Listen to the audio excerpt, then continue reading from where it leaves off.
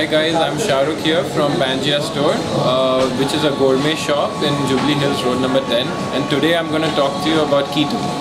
So keto is one diet which is very important for people to maintain if they have diabetes or a high sugar problem. Keto is basically you maintain low carbs and you focus on high fats and proteins.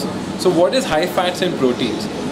Meats, cheeses, oils, nuts, avocados, different berries. This makes up your high fats and high proteins. Now what is the reason of having low carbs? Carbs actually creates a lot of sugar and creates your insulin to spike. The problem with that is it's okay for a lot of us, but diabetes patients especially need to maintain their sugar levels. So as a diabetic, if you're looking at keto options, Pangea is the best way to explore it. We have different spreads, different oils, different meats, different cheeses, where you can really make your unique dishes and not even want to uh, have carbs. So the craving of carbs you get because you're not having enough fats. Because when you have low fats, when you have low carbs, your body looks for a different source to power your body.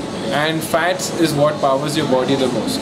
So your body goes into a ketosis state which makes all the energy come from the fats.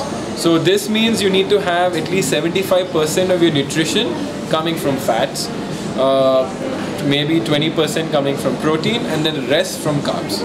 So this diet is very hard to maintain if you don't have the right ingredients. So if you're looking for your best keto uh, recipe and your best keto ingredients, I would recommend come to Pangea and you can even go crazy on the ingredients and get all the recipes and build everything which you ever dreamed about.